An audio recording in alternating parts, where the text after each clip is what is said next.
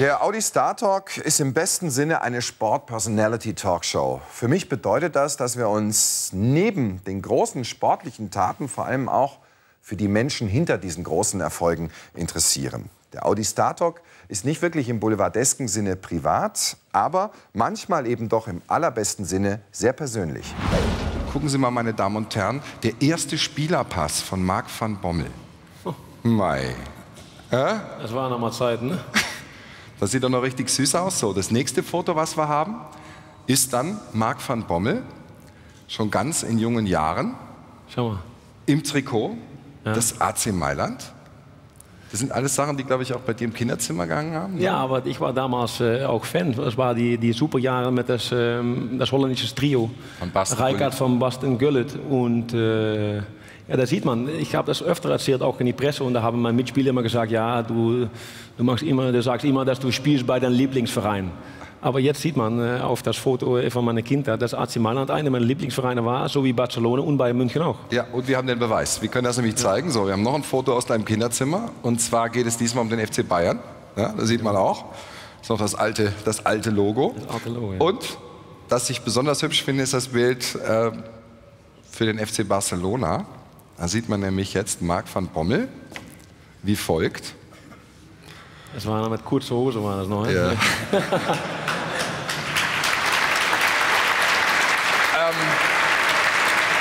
gefühlt würde ich sagen, Du bist der erste Profi, der so mit zehn schon einen eigenen Porsche hatte. Ja, ja, das war, das war mein, äh, mein zweites Auto. Das.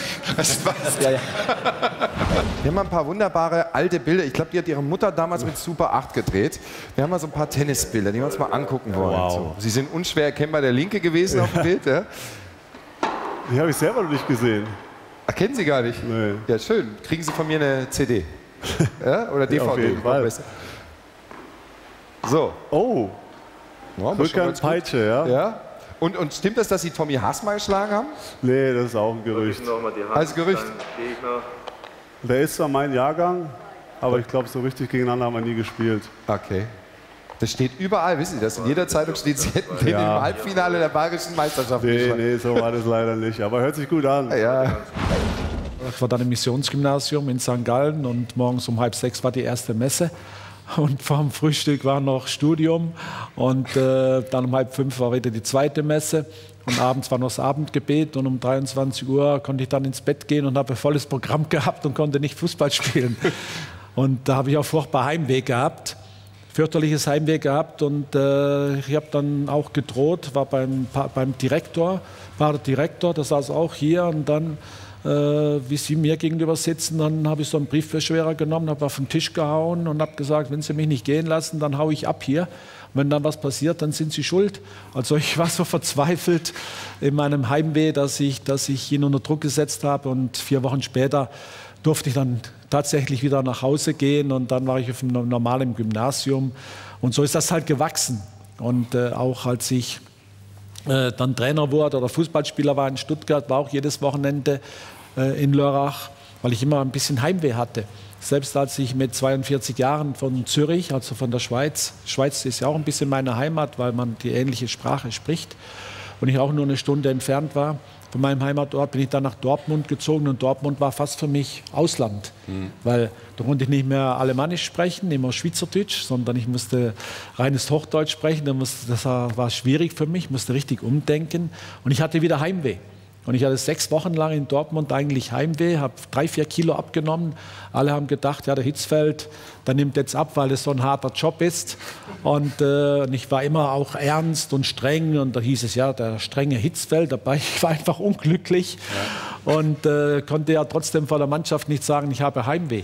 Und sonst hätte es ja gleich geheißen, das ist ja ein Weichei. Was will der hier in der Bundesliga? Also von daher ja, war das eine Lebensschule für mich. Wir saßen im Rollstuhl, waren fast komplett gelähmt. Also erzählen Sie vielleicht mal selber einfach.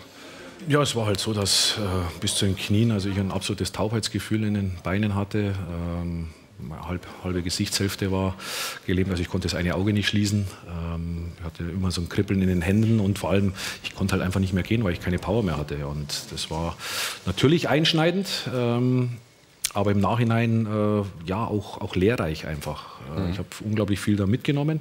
Ähm, vor allem in der Tätigkeit, was ich jetzt schlussendlich ausübe als Trainer, weil bis dorthin war ich mehr oder weniger immer nur auf der Sonnenseite. Ich war Stammspieler, ich habe Titel gewonnen. Ähm, war zwar ab und zu mal auf der Bank gesessen, aber war selten schwerer verletzt, äh, immer nur leichtere Verletzungen, wo man nach spätestens vier Wochen wieder da war. Und das ist dann natürlich schon ein Einschnitt, äh, wo ich so auch noch nicht kannte, wo ich natürlich auch meine Probleme damit hatte, äh, schlussendlich dann auch wieder das bis zum Schluss nochmal zu schaffen. Ähm, aber hilft mir jetzt in meiner Arbeit unglaublich viel, weil ich kann mich eben sehr, sehr gut in die Spiele hineinversetzen. Es ist ja so, dass Sie natürlich nicht ganz unvorbelastet sind, familiärerseits. Ihr Vater, Helmut Nerlinger, war auch ein klasse Fußballer, war Bundesligaspieler, hat, glaube ich, sogar mal Pokal gewonnen ne? mit Kickers Offenbach. So es, ja. ja. Also äh, da waren natürlich immer schon so ein bisschen äh, Grundgegebenheiten da. Und er hat sie auch regelmäßig gecoacht. Wir haben mal ein bisschen in den Fernseharchiven gekramt. Oh. Wir haben einen wunderbaren Ausschnitt gefunden aus dem Jahr 1993 ist das, glaube ich. Da gucken sie zusammen ein Tor von sich. Das gucken wir uns jetzt einmal mal zusammen an. Ich das an?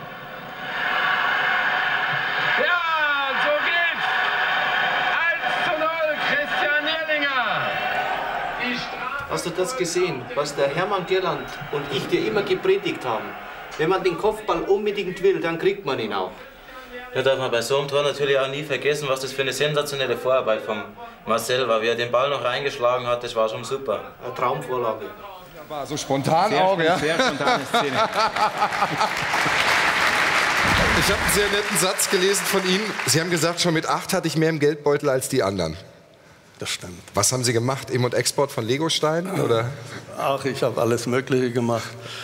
Äh, in der Nachkriegszeit äh, war Schneckensammeln zum Beispiel in. Da habe ich Geld verdient. Ich habe Geld damit verdient, dass ich bei den Bauern gearbeitet habe. Äh, ich habe irgendwie immer das Ziel gehabt, Geld zu besitzen. Das war auch ein bisschen geprägt von meiner Mutter, die wirklich sehr, sehr sparen musste mit vier Kindern. Ich habe dann irgendwann später mal zu ihr gesagt, Mutter, ich werde mal Millionär. Ja. Da haben Sie leicht geschwindelt, weil Sie sind ja Milliardär geworden. Das wusste ich ja nicht, dass das passieren wird. wenn man dann mal bedenkt, wie die Trainerkarriere begonnen hat, wenn ich es mich richtig mitkriege, es war fast eine Art Karnevalsscherz. Das war ja. Rosenmontag, ne? Ja. 2001, oder? 2000? Ja, 2001, ja. meine ich. Wie, ich glaube schon, wir sind zehn Jahre drin. Ja. Wie, wie, ist Jürgen Klopp Trainer geworden? Das war dann, also Karnevalsscherz war es jetzt nicht sonntags, ganz, aber... Nee, nee, wir haben sonntags ähm, gegen Kräuter Fürth gespielt. Ähm, das Spiel wie immer, Mainz 5 bei Kräuter Fürth, bis Jon Andersen letztes Jahr oder vor zwei Jahren das erste Mal gewonnen, immer verloren. 3-1, Jürgen Klopp ist in der 57. Minute wegen grottenschlechter Leistung ausgewechselt worden. Trainer war Eckhard Krautzon. Mittwochs darauf war ein Nachholspiel gegen den MSV Duisburg, damals Trainer Seppo Eichkorn ähm, und Aufstiegsfavorit. Und wir praktisch tot. 19 Punkte, 12 Spieltage vor Schluss ist eigentlich erledigt. Also. Und ähm, dann wollte Eckhard Grauzun, hatte die glorreiche Idee zu sagen, so alle alten Spieler raus, wir probieren es jetzt mit Jungen. Ich gehörte zu diesen alten Spielern, war jetzt also von der Idee zweitklassig begeistert. Und, ähm, aber das war gar nicht das Thema, sondern er wollte am nächsten Tag eine Pressekonferenz einberufen, um das zu verkünden. Christian Heidel, der Manager, hat davon erfahren, hat dann gesagt, okay, wir machen eine Pressekonferenz, aber wir schmeißen einen Trainer raus. Jetzt war allerdings bis zur Pressekonferenz nicht mehr so viel Zeit. Also muss man irgendwie schnell einen Trainer ähm, beiholen. Und dann hat Christian mich auf dem Spaziergang mit Dimo Wache, wo wir zusammen unterwegs waren, im Hotel, genau, ähm, angerufen und hat gesagt, kannst du dir vorstellen, Trainer zu machen? Ich sofort gesagt, aber dann spiele ich nicht mehr. Ich nehme an, das war wahrscheinlich, da waren alle froh drüber. hat den Vertrag abgesichert. So, und dann war aber klar, es geht um das Spiel Mittwochs und es geht um das Spiel sonntags darauf. Das war gegen Chemnitzer FC. Und dann in der Zeit wollte der Verein einen neuen Trainer suchen. Jetzt haben wir beide Spiele gewonnen. Ich könnte übrigens alle Tore, die wir da geschossen haben, noch eins zu eins nachzeichnen. Ich weiß auch nicht, wieso das so ist, aber das war wirklich prägend. Ähm, und dann bin ich Trainer geblieben. Dann hieß es erst bis Saisonende und dann haben wir die Klasse gehalten. Dann bin ich länger Trainer geblieben und war nicht ja, die schlechteste Entscheidung. Nein, das ist, das ist einfach großes, großes Glück. Man muss im Leben, das ist ja so, es gibt viele Leute, denen es irgendwie, die ab und zu Glück hatten. Aber wenn du im richtigen Moment am richtigen Ort bist und dann noch die richtigen Leute triffst, dann ist das wirklich, und das hatte ich mehrmals in meinem Leben und ich weiß, dass ähm, das nicht selbstverständlich ist. Und dass sie mir damals das Vertrauen geschenkt haben, ist außergewöhnlich. Ich war 33 und konnte nicht kicken, also warum soll man so jemand Trainer werden lassen? Und 2008 habt ihr euch kennengelernt? Vielleicht erzählt ihr mal beide ganz kurz. Wir haben im, im selben Haus gewohnt, der war einen Stock unter, er war immer, wir waren immer oben, die Handballer waren nach oben, also es war, jeder war bei jedem und es war echt ein, ein Riesenerlebnis. Verstehe, wenn das Bier aus war, kein Problem. Der Nachbar Ja, Bier gab es leider nicht im Olympischen Dorf. Gut, gehört sie natürlich auch nicht, ist ja gar keine Frage. Was ich sehr nett finde, äh, Timo, Sie sind ja natürlich hier bei uns ein Star, aber in China sind Sie ja ein, ein, ein Megastar, so wie, wie, David Beckham oder so. Bei Tischtennis ist ja eine Riesennummer. Weiß nicht, ob Sie das wussten, Dirk. Also das A, äh, ein Magazin hat ihn als Sexiest Man Alive ausgezeichnet. Schon ein paar Jährchen her. Ja? Und B, da musste ich sehr lachen, als ich das gelesen habe. In China steigen die Frauen auf Bäume, nur um einen Blick in ihre Umkleidekabine zu werfen. Stimmt es? Das ist noch länger her, aber das war gar nicht in China, das war sogar in Japan. Ach, tatsächlich. Gott. Äh, Die Asiatin halt. Ne?